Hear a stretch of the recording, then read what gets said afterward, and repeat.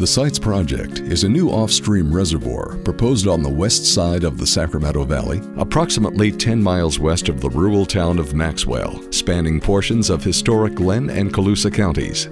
With a storage capacity of up to 1.8 million acre feet, Sites would provide a significant supply of water for the environment, as well as for homes, farms, and businesses. Sites is a new water management tool to offset the impacts of drought and prepare for climate change.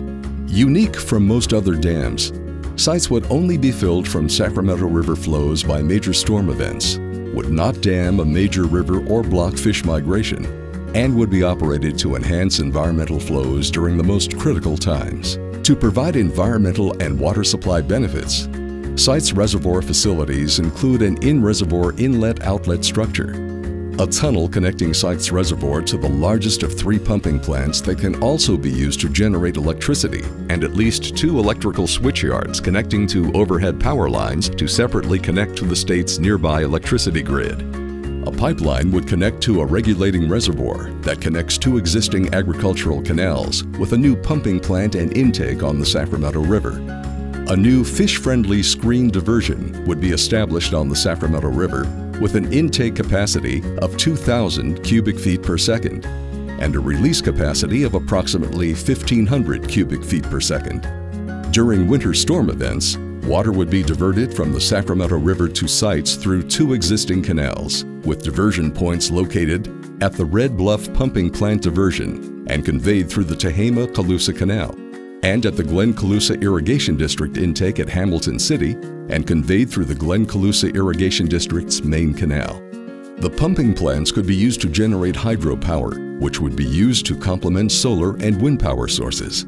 Operation of the proposed project would be in cooperation with the operation of the existing Central Valley Project and State Water Project systems and facilities. The proposed operation of the project incorporates three primary components.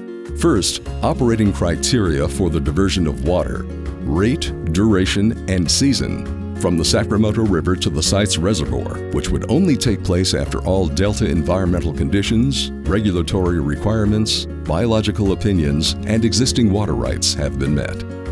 Secondly, operating criteria for the timing and release of water from Sites reservoir to the Sacramento River will be based on environmental needs and water supply demands based on hydrologic conditions.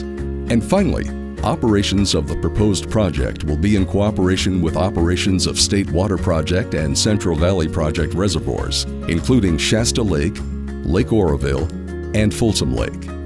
As currently proposed, the operation of Sites Reservoir could provide up to 500,000 acre-feet of water per year on average to meet critical environmental, urban, and agricultural water needs. Environmental water will provide benefits to salmon, delta smelt, migrating birds, and other wildlife in three primary ways.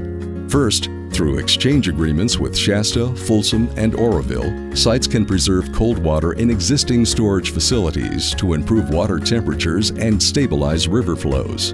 In critical dry water years, such as those experienced in 2014 and 2015, Shasta Lake storage could be increased on average by up to 200,000 acre feet. In fact, analyses of the site's operation show that if the project were operational today, average juvenile salmon production would improve by up to 10% in critically dry years.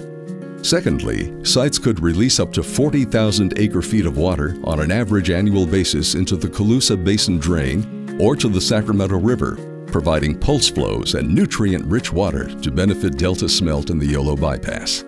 Finally, sites could provide up to 50,000 acre-feet of water on an average annual basis to benefit the Pacific Flyway and enhance wildlife refuges. Sites works for California.